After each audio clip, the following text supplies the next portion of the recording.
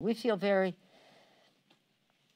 excited about the prospect that the there's a bipartisan bill because I told members I'm not bringing any more bills that are not bipartisan.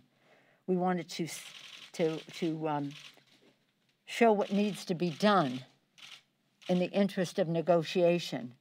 They're negotiating. It's a good product. It's not everything we want. Don't get me wrong. I I don't want the Republicans to think that we uh, that this is a dream come true. It is not, but it is a path forward. Yeah. Not to accept half of a loaf months ago, when you said, I'm not gonna accept half a loaf. Look, I'm gonna tell you something. Don't, don't characterize what we did before as a mistake, as a preface to your question, if you want an answer. That was not a mistake, it was a decision, and it has taken us to a place where we can do the right thing without other, shall we say, considerations in the legislation that we don't want. Now, that is it. Now, the, the fact is, I'm very proud of where we are. People need food on the table. They need to get their rent paid.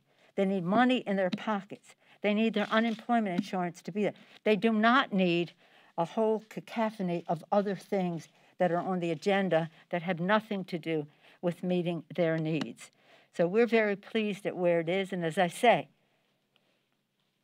with a Democratic president committed to a scientific solution for this, with the idea that we will have a vaccine, it's a complete game changer from them.